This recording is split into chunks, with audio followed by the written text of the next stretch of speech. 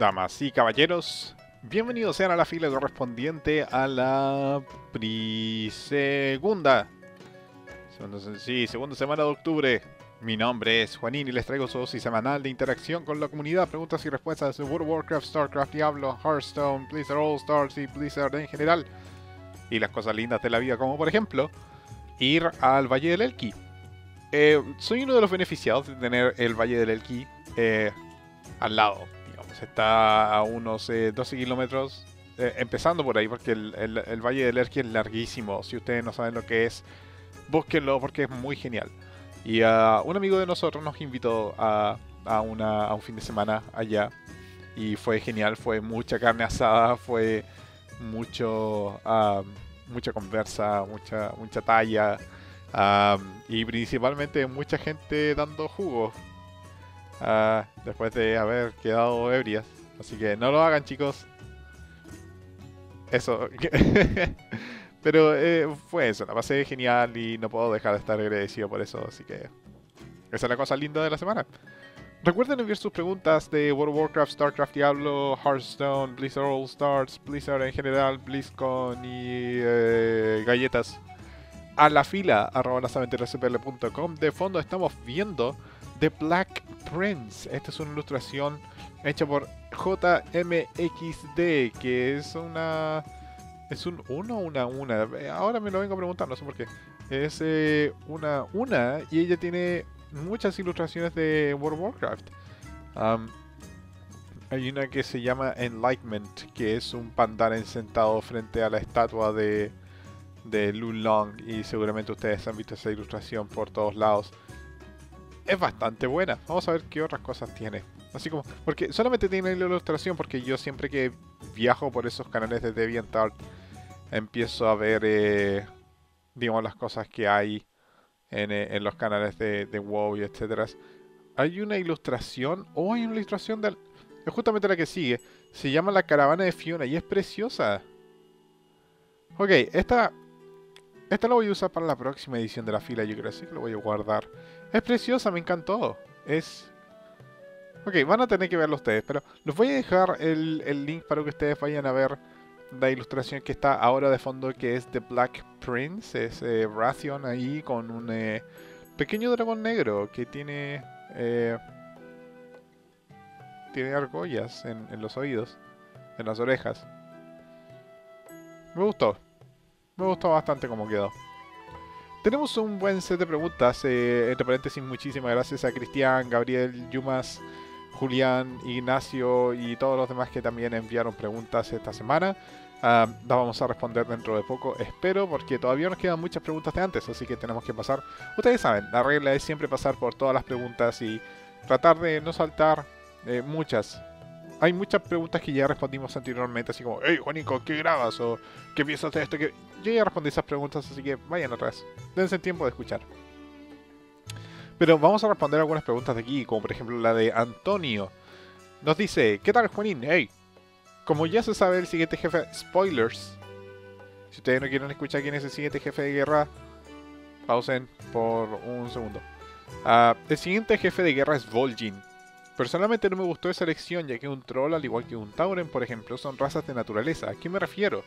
A que no son o no están hechos para la guerra, cosa que aún así lo hacen. Y aquí van mis preguntas. ¿Por qué Thrall no volvió al mando? ¿Por qué no fue Sylvanas o Lorthemar? Supongo que daría más historia wow en el sentido de más profundidad. En el caso de Lorthemar, volver con los elfos de sangre y profundizarlos un poco. Y si hubiese sido Bane, habría sido aburrido. No veo la forma de corromper un Tauren. Y lo mismo digo de Vol'jin, no veo la forma de corromper un troll. Hmm, buena pregunta. Ah, ustedes saben que a mí me gusta ver entre medio de las líneas. Y si Thrall le dijo a Vol'jin, si tú mandas, yo te seguiré. Y los otros se arrodillaban ante él. Eh, y luego Varian viene y dice, pediré hablar con el jefe de guerra. Y Vol'jin, en vez de decir, yo soy el jefe de guerra, dicen, yo hablo por la horda. Entonces puede que haya un acuerdo aquí entre medio que nosotros no sepamos. Probablemente lo sabríamos, pero es probable. ¿Por qué Thrall no volvió al mando? Fácil, porque el tipo pese a que es un miembro fundador de la nueva horda, así como de la horda que nosotros conocemos en World of Warcraft, horda, el tipo ya está retirado de esas líneas. O sea, el tipo yo creo que quiso tener una vida propia. Y no es fácil tener una vida propia cuando tienes que asegurar las vidas de cientos de miles de personas que están debajo tuyo. No es posible, o sea, es, es posible en realidad, pero no se hace de la forma que se debería hacer. Thrall por mucho tiempo, y esto es algo que Chris Metzen lo conversa todo el tiempo y yo estoy completamente de acuerdo. Eh, Thrall hasta Kata era un personaje más o menos vacío, o sea, sí, claro, era el, jefe de guerra de la Horda y es, el, descendiente más eh, eh, ejemplar del clan de los lobos gélidos, pero no tenía, digamos, una personalidad por sí misma. Él era el jefe de guerra, pero no era Thrall. Entonces eh, necesitaba tener una personalidad y ahora la tiene y ahora es como, viejo, quiero vivir mi vida, eh, a mí me encanta la horda y todo, pero... Mm, no. Sin embargo, me queda una muy buena pregunta en el tintero, así como, sorry por responder una pregunta con otra pregunta, pero se me hace, se me hace un tanto curioso quién podría ser el próximo representante de los orcos en la horda, porque si Garrosh va a ser enjuiciado en Pandaria y conociendo como los como el Shadowpan enjuicia a sus a sus eh, a sus reos, va a faltar un orco ahí. Entonces Thrall quizás no va a ser el jefe de guerra en sí, pero va a estar metido en el asunto, así como ok, ya voy a eh, voy a ser el representante de los orcos, pero no voy a ser el jefe de guerra. Además que sería sería entretenido porque si, si fuese Thrall de nuevo tendríamos paz. Y la idea es no tener paz. Recuerdan, por algo se llama World of Warcraft, el, arte de la guerra. si Thrall volviese, porque de hecho, si, ustedes ven la cinemática, yo creo que todos la han visto ya, porque nadie, nadie se resiste tanto. si ustedes han visto la cinemática, bueno, si no la han visto, spoilers. Ah, cuando Varian se acerca a hablar con, eh, con, el jefe de guerra de la horda, el tipo se sorprende de que no es Thrall. Y cuando ve a Thrall le dice como, con la mirada así como, ¿en serio? ¿En serio es Vol'jin? Y Thrall le dice, sí, obvio que es Vol'jin. Porque Thrall mismo se esperaba, ok, vamos a tener paz con Thrall ahora que Garrosh se fue, pero Vol'jin, ¿por qué? ¿Por qué Vol'jin ahora entonces? No vamos a tener paz acaso. Entonces ahí se, se, arma de nuevo un poquito el conflicto en el sentido de no confío plenamente en Vol'jin porque no lo conozco. Entonces ahí, hay un, ahí puede haber un tema pendiente. ¿Por qué no fue Silvanas o Lorthemar? Yo creo que Silvanas hubiera sido una pésima opción. Eh, en el sentido de llevar a la horda a un punto mucho más destructivo de lo que lo llevó Garrosh, porque tenemos que ser sinceros, todos los renegados tienen un... Eh, no tienen una sensación de comunidad. Así como hablando más de, en términos de rol, digamos. Los no muertos no se, no se llevan mucho por cosas así como el... Eh, bueno, probablemente sí. Hay, hay, hay algunos, pero... Silvanas no necesariamente se caracteriza por ser una, una jefa racial muy diplomática, que digamos. Ah, ella prefiere más eh, hacer las cosas a la fuerza y torcer las cosas para su propia ventaja. Entonces es, una es un gato, es lo que es. Y Lorthemar, bueno, a Lorthemar le dieron historia recién ahora, en, en el juego. Lorthemar tiene un pedazo de historia para atrás, eso es innegable. Si ustedes eh, tienen la chance de leer cómics como eh, la, la trilogía de la Fuente del Sol, ahí Lorthemar hace unas apariciones espectaculares. O sea, el tipo. O sea, no son espectaculares, pero eh, tiene, sus apariciones por ahí. Eh, pero dentro del juego lo conocemos poco. Hasta el 5.2 el tipo se llamaba Bob. O sea, para muchos se llamaba Bob. Para mí, Sergan empezó con todo eso. Pero. Pero al tipo no lo conocíamos antes. Y es muy poco lógico que un tipo que estuvo haciendo nada nada durante los últimos... ¿Cuánto? ¿Seis años? ¿Cinco años? ¿Seis? En términos de juego, porque en términos de historia son como diez. qué, qué responsabilidad les puedes dar al tipo. O sea, claro, el tipo es buen guerrero, buen líder, etcétera, todo lo que tú queráis. Pero es muy difícil colocarlo en una posición de jefe de guerra, especialmente cuando lo venimos conociendo recién. Y especialmente cuando la forma de conocerlo es este feudo que tiene con Jaina. Entonces, es raro. Y dice también si hubiese sido Bane habría sido aburrido. Sí, definitivamente habría sido aburrido. Sería como todo... Oh, somos Tauren. De pronto estoy haciendo muchas voces, es genial. Bueno, espero que eso haya contestado un poquito a esas preguntas y haya podido eh, armar un poquito de discusión. Por supuesto, si ustedes tienen comentarios, ustedes pueden dejarlos en los comentarios, porque para eso son los comentarios. Carlos, Juanín, ¿te has dado cuenta que al loot final de Garrosh y las armas de color café dicen 90-100 para el nivel requerido? Sí, lo he notado. Esto es un adelanto anunciado y camuflado de que este es el último parche que ya vendrá nueva expansión nivel aumentado será de 10 niveles. Me pregunto qué opinas tú porque es algo demasiado curioso. Ah, y otra pregunta sobre el free to play. ¿Piensas que Blizzard está haciendo proyectos free to play para que en algún futuro todos los games de Blizzard sean free to play? ¿Y qué piensas que pasaría si WoW fuera free to play? Buenas preguntas. Empecemos con lo de Garrosh. Ah, si ustedes no saben, al derrotar a Garrosh ustedes van a recibir un, eh, un Heirloom que es eh, un, arma de reliquia que ustedes pueden mantener en su personaje para poder facilitar la subida de nivel. Y esos ítems dicen aptos para niveles 90 a 100. Lo cual... Uh, ¿Cómo podría decir esto? Lo cual podría indicar que en la siguiente expansión tengamos 10 niveles en lugar de 5. Ah, como se ha dado en los últimos tiempos, así como para llegar a nivel 100 de una. Y pese a que muchas veces estas cosas no se modifican, me gustaría tomar esto con un, eh, con un poquito de cautela. En el sentido de, es súper fácil modificar ítems en una base de datos. Wowhead, por ejemplo, y no solamente Wowhead, sino que MMO Champion y muchos otros sitios que se dedican a hacer data mining y que tienen las herramientas para eso y los desarrolladores y todo. estos tipos se dedican a sacar los archivos del juego y de esos archivos eh, capturar todos los ítems, capturar eh, los modelos, etc. Ustedes saben lo que sucede al principio de cada parche, que se dedican a tomar los parches del, reino de pruebas y sacan toda la información de ahí. Pues eh, en uno de esos parches empezó todo el tema del, Sky Claw, que es la, garra la garra del cielo, que se llamaba, que era una especie de de helicóptero era el, concepto era, era genial porque era una garra que volaba y es una montura y mucha gente estaba así como ¡Oh, genial! Y nunca se le dio uso a ese ítem y después fue modificado completamente. Entonces eh, puede que ahora mismo esas armas digan 90-100 pero en el futuro digan 90-95.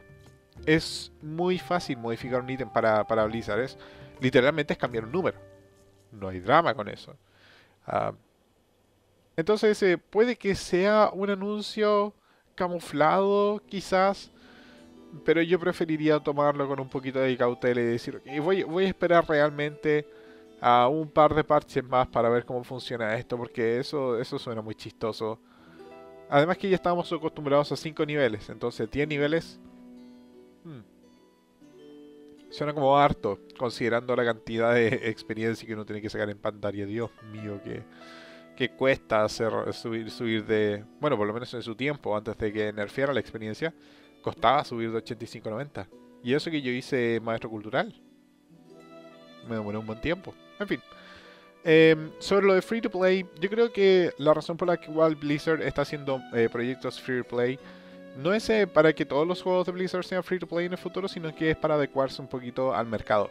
Ahora mismo en el mercado están saliendo muchas cosas free to play. Hay muchos juegos como por ejemplo Dota 2, eh, League of Legends, uh, por mencionar algunos, que son titanes del free to play. Eh, para que mencionar juegos como Planet Side 2 o bueno, un montón de cosas que se pueden conseguir en Steam también que son free to play. Y hace sentido, o sea, Blizzard no tiene ningún título free to play que se pueda beneficiar de un, eh, de un sistema de mercado de microtransacciones, como lo hace Hearthstone, por ejemplo. Si ustedes no conocen el sistema que tiene Hearthstone, es básicamente ustedes pueden, ahora mismo, pueden ganar 30 partidas de Hearthstone y con eso comprar un sobre, o alternativamente, pueden usar dinero real para comprar un sobre de cartas de Hearthstone y eh, mejorar un mazo. Entonces ese tipo de modelos son un poquito más convenientes. cuando son juegos pequeños. En el caso de juegos como World of Warcraft, Diablo, StarCraft, es muy difícil. Em, aunque se ha hecho trabajo sobre eso, eh, tanto Warcraft, StarCraft y Diablo tienen versiones starter, eh, con las cuales ustedes pueden jugar hasta cierta parte de la experiencia. Y pese a que no es tan... Em, no es algo tan grande como el juego completo en sí, definitivamente ayuda un poquito a, digamos, a paliar esa necesidad que mucha, que mucha gente tiene de jugar un juego que no tienen, pero que tampoco tienen dinero para pagarlo. Eh, entonces, eh, no, es que, no es que todos los otros juegos de Blizzard sean, vayan a ser free to play en el futuro. Es solamente que estos proyectos pequeños como Hearthstone, por ejemplo, que no tomó mucho tiempo de, crear, digamos. Eh, todos esos pequeños proyectos son calzan muy bien en ese modelo. Lo mismo podría suceder en el futuro con Blizzard All Stars. Eh, aunque todavía tenemos que saber al final cómo se va a distribuir Blizzard All Stars, si va a ser un juego aparte, si va a ser un mapa, no se sabe. Eh, entonces va a haber que ver qué pasa ahí. Pero en el caso de que Blizzard All Stars, que es el que es el, eh, el MOBA que está preparando Blizzard para hacer la competencia un poquito a League of Legends y a Dota 2, creo que se había dicho o se estaba rumoreando de que iba a ser un juego aparte, no un mapa. Pero habrá que ver en el futuro. Y sobre WoW, eh, irse a free to play, pues lo veo no posible en el futuro cercano. La próxima expansión ni queriendo. Eh, el tema que tiene WoW es que está diseñado alrededor del sistema de eh, um, mensualidad. Está diseñado de esa forma. Entonces, eh, si tú le quitas el, término de mensualidad, muchas de las cosas que tienes dentro del juego se convierten a otra cosa. Eh, algunos de los ítems que necesitan cierto tiempo para poder eh, para poder terminarse, como por ejemplo esas mascotas que duran como 3 días, al final podrían estar durando 7 o 10 o 20, porque la idea de los juegos free to play es que tú vuelvas por alguna razón y que gastes dinero dentro del juego también por alguna razón. Entonces, eh, muchas cosas como por ejemplo las cosas que se venden ahora en, China, que es justamente por el modelo económico que tienen ellos, que ellos no tienen mensualidad, tienen, eh, tienen pago día a día, ellos juegan por día, incluso creo que juegan por hora, no juegan por mes.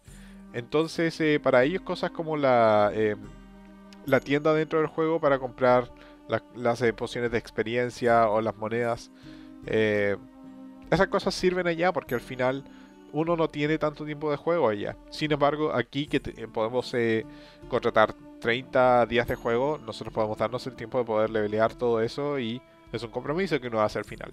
Entonces, eh, el juego está construido aquí eh, para América y Europa para que funcione con ese tema de mensualidad. Si tú le quitas eso, y conviertes a WoW completamente en free to play, tienes que cambiar el juego completamente para que todo haga sentido con el, con el sistema de free to play y también para que haya eh, microtransacciones para que se pueda sostener.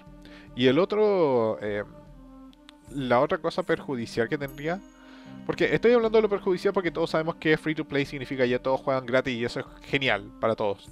Pero el problema que traería, que es tan o más grande que lo que les mencionaba recién, es el tema del soporte técnico y de servicio al cliente.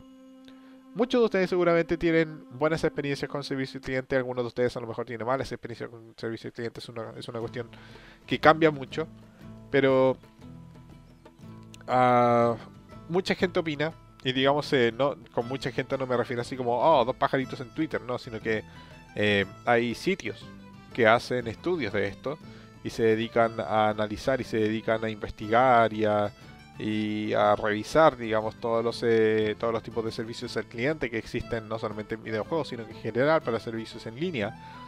Y Blizzard tiene, se puede jactar de tener uno de los mejores servicios al cliente que tiene.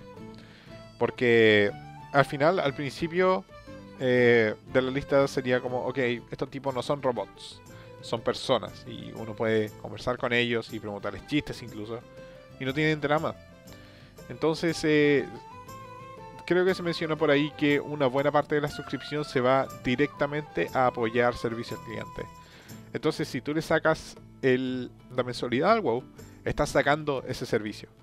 Entonces, no solamente mucha gente va a quedar sin trabajo, sino que también ese servicio al cliente que está ahí se va a transformar en un servicio automático. No te van a atender personas, te va a atender una máquina, lo cual no es ideal. Entonces, eh, para proteger eso, digamos, también se, eh, digamos, se eh, protege un poquito la idea de tener un, un servicio de mensualidad. Christopher tiene una pregunta, una sola. ¿Cuál es tu transfiguración que tienes ahora mismo en tu personaje principal? Me gustaría que me des links a todos los ítems para verlos, por favor, y gracias. Pues eh, no te puedo dar links ahora mismo, pero sí te puedo dar el nombre del set. Es un set que se hace con eh, peletería, que se llama Tsunami. Em, si tú ves en mi armería, eh, me puedes buscar por Perle en Drakari, en, el, digamos en, el sitio de Battle.net de World of Warcraft.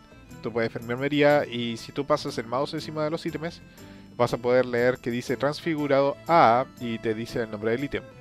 En, el caso de, la armadura son los eh, son las piezas de la armadura Tsunami, específicamente los hombros, eh, la pechera, cinturón, guantes, pantalones y pies.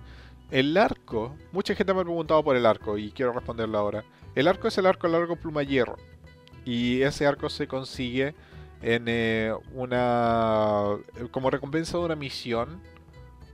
Déjame recordar sí. Como recompensa de una de la misión que tienes que terminar en el eh, ¿cómo se, en el pozo de la ay cómo se, cómo se llamaba el pozo de la eternidad creo que se llamaba que es eh, una de las mazmorras del parche 4.3 el pozo de la eternidad se llamaba.